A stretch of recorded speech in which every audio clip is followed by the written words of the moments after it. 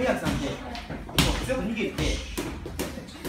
握って打つんですけど僕打つ時に握る瞬当たる瞬間に手離すんですよ一瞬その方がなんかもっとなんか差し込めるっていうか気がするんで僕の中で打つ瞬間にこのこの手離しこの手が当たるっていうかはいこの握ってこのこの若干このこの手が当たる瞬間に手を離すっていうのが僕のボディなんですけど。当たる瞬間にあれなん？グリって握ってへんの？あはい。右離すんですよ僕。ちょっと。じゃあ動かなその方が力抜けて強く出る感じがしてるんで僕の中で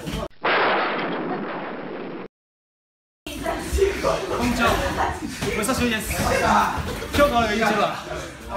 元サイジムトレーナー森下です。今日はえっとパンチピカスボディの仕方っていうのをテーマにちょっとご説明していきたいと思います。えっと僕はまあそのまあ剣士でっていうかまあその拳をこう握らんで打つみたいなっていうのをまあちょっと詳しく説明してほしいところで今日やるんですけど僕が言いたいのは。しっかりパンチするときはやっぱり拳を入れるっていうのが、まあ、ベストですベストなんですけどちょっと握りすぎてやってしまうとどうしても力が入ってしまうあれなんで普段やったら最初はちょっと軽く握って最初はこれが一番できたベストなんですけど、最初は僕はできなかったんですよ。できなかったその拳さえガスッと当てればいいかなっていう考えで一回その手首だけ固めたまま握らんとグローブがこういう風になってしまうんで握らんとこのまま打ってみたら、まあ、意外とパンチ力出るなって感じてそこから、まあ、そのボディとかにつなげていったっていうのは、まあ、結論そうなんですけどまあ、えー、そうですね。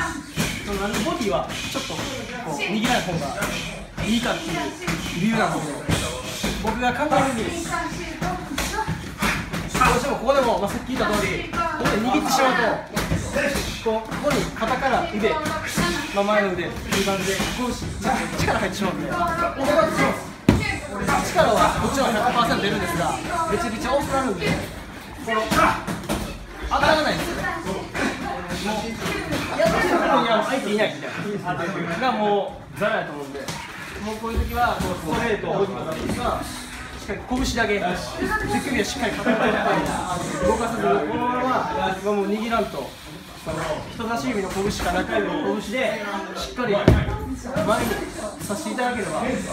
この半開きっていうかしっかり握らなくてもある程度出力は出ますボディをかむした後に本命のっていうかしっかり握ったボディをと、まあ、最初に引いてるんで。思いっきりその拳にいった。ちょっと遅いボディでも100%効くんじゃないかと僕は思いますんで、まあ、打ち方のコツなんですボディは当てるボディの気は結構こういうふうにやってるあるんですけど僕は結構前にさすような感じでこれは縦でも横でもあ場所変わってみてそれはもう縦でも横でも全然やりやすい方やってもらっていいんですが僕は縦の方がこうナイフを刺すようなイメージで打つんで縦の方が前に刺されやすいっていう点で僕は縦で方を推奨してで、まあ、そのまま今グローブしたいなグローブをいつも通り。握らずにような感じでこのまま拳だけを意識してもらうため前にですと、まあ、ある程度。威力出るので、まあ、両方とも右を、まあ、サンスポーオーソドックスのためでも左を刺せればある程度威力が出るのでそのしっかり拳人差し指でも中指でもいいので拳をあの意識してもらって打ってもらえると、えー、と前に向かってきやすいパンチが打てると思います。ぜひ皆さんも関係なくコンビネーションの中で打ってもいいですし単発でも日々の練習で試してみてはいかがでしょうか。